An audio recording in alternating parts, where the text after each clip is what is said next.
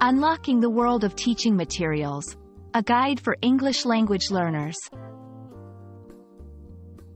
Hello, everyone. Welcome to our channel, where we make learning English fun and effective. Today, we're diving into an essential topic for both students and educators alike. Teaching materials.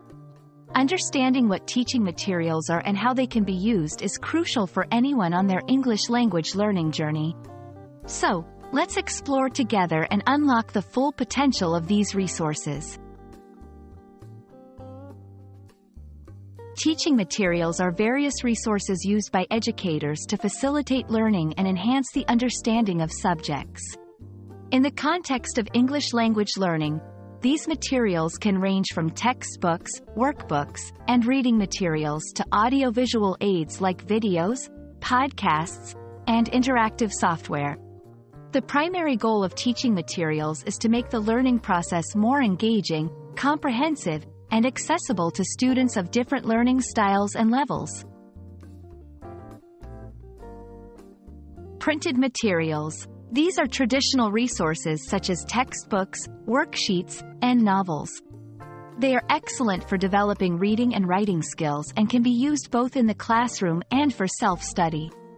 Digital materials. With the advancement of technology, digital resources have become increasingly popular, this category includes ebooks, online articles, educational apps, and language learning websites.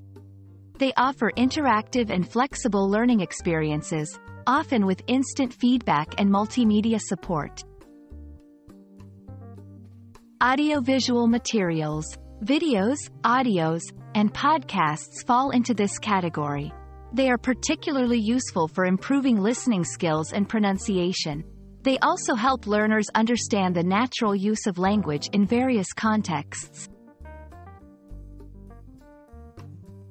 Selecting the right materials is key to effective learning.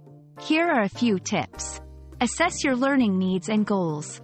Choose materials that match your current level and objectives. Look for materials that engage different senses.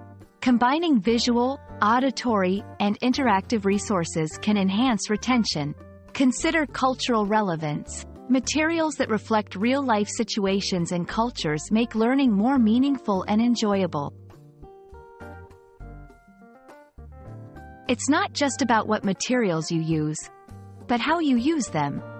Here are some strategies. Incorporate a variety of materials to keep learning interesting and cover all language aspects. Practice regularly. Consistency is key in language learning. Use materials to simulate real-life scenarios. This can improve your communication skills in practical situations. We hope this guide has illuminated the importance and versatility of teaching materials in learning English. Remember, the right materials can transform your learning experience, making it more engaging and effective. We encourage you to explore different types of materials and find what works best for you. Happy learning, and see you in our next video. Remember, every step you take in learning English opens up new opportunities.